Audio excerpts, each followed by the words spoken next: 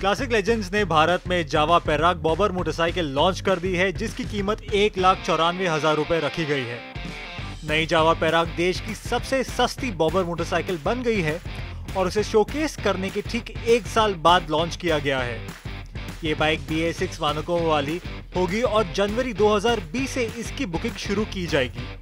वहीं 2 अप्रैल 2020 से बाइक की डिलीवरी भी शुरू की जाएगी।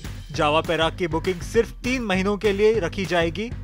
नई जावा पैराक को बॉबर डिज़ाइन पर बनाया गया है, जो रेट्रो डिज़ाइन और फ्लोटिंग सिंगल सीट के साथ आकर्षक tail light tear drop fuel tank और black out engine paint job के साथ आता है।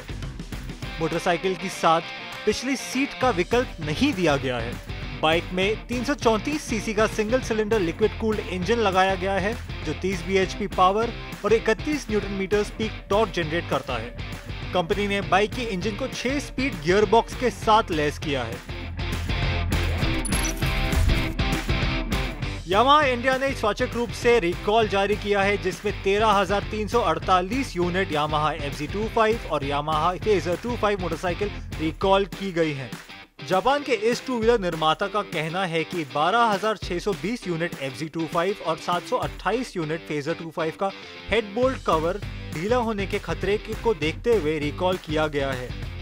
सभी प्रभावित मोटरसाइकिल जून 2019 में बनाई गई हैं और कंपनी ये काम मुफ़्त में करेगी, जिसके लिए यामाहा के ऑथोराइज डीलर्स ग्राहकों से संपर्क कर रहे हैं। ट्रायम मोटरसाइकिल्स ने छोटा टीजर वीडियो जारी करके ये जानकारी दी है कि नई ट्रायम टाइगर रेंज को दिसंबर में लॉन्च किया जाएगा। टीजर वीडियो में लिखा हुआ है कि नई टाइगर 900 दो वेरिएंट्स रैली और जीटी में उपलब्ध कराई जाएँगी। ये संभावित ट्रायम की मिडिलवेट टाइगर का नया नाम हो सकता है, जिसे 900 सीसी इंजन दिया जाएगा और बाइक को पूरी तरह ऑफ़ के लिए रैली वर्जन में उपलब्ध होगी। वहीं लंबी दूरी तय करने के लिए रोड के हिसाब से बना टूरिंग वेरिएंट जीटी होगा। फ़िलहाल कंपनी ने ट्रायम टाइगर 900 की ज़्यादा जानकारी उपलब्ध नहीं कराई है लेकिन हमारा मानना है कि बाइक का इंजन 100 से ज़्यादा बीएचपी पावर जनरेट करेगा और बाइक पूरी तरह नए इलेक्ट्रॉनिक सूट के साथ आएगी।